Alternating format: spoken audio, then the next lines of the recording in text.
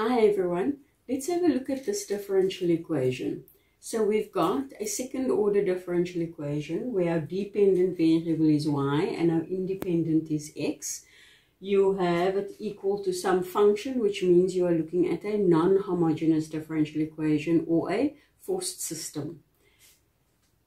Your solution is going to be made up of two parts, your complementary function as well as your particular integral. So let's start with the complementary function first.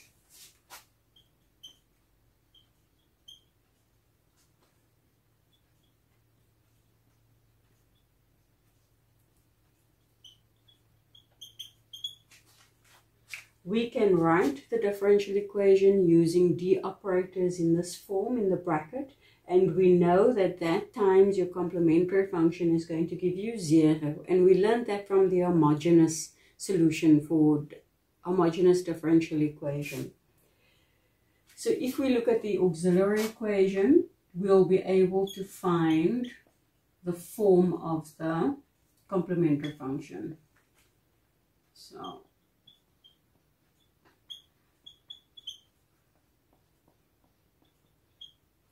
So we get 1 and 1 minus, so we have the root of this auxiliary equation is going to be d equals 1, which is repeated, which means our complementary function is going to be e to the x, ax plus b. Right? Now let's have a look at our particular integral.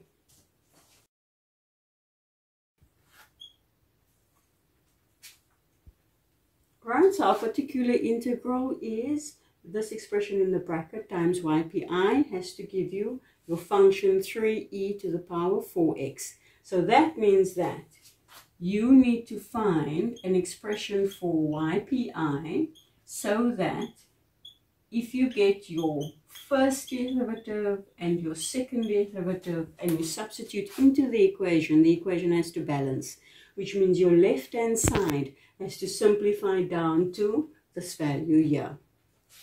So let's choose our trial function. And I'm going to choose a function that has this form here. Because it stands to reason, if this equation has to simplify down to 3e to the 4x, each of the terms that get added up on your left-hand side have to have e to the 4x next to it. You just don't know what the value is in front of those terms, right? So let's see what we get. 4c e to the 4x is going to be 16 right and then we substitute into this equation here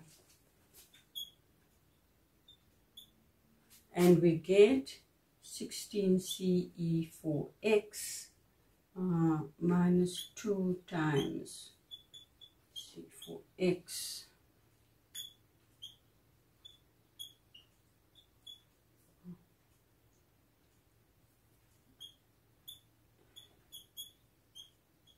And we know that when we simplify, it has to equal 3e to the 4x. So, what do we get? This is going to be 16 that's going to be 8. Stays 1.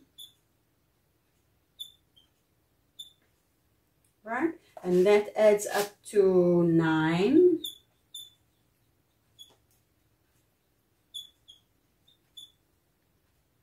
Oh, I'm missing a C. 9C, which means that C has to be a third. So that means that your particular integral is going to be a third e to the 4x. So let's write. So our particular integral is a third e to the 4x. That means that your y, your final solution, is made up of complementary function plus your particular integral.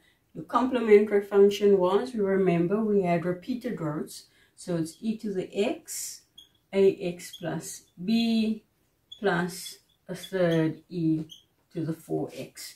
And that is the general solution of your differential equation.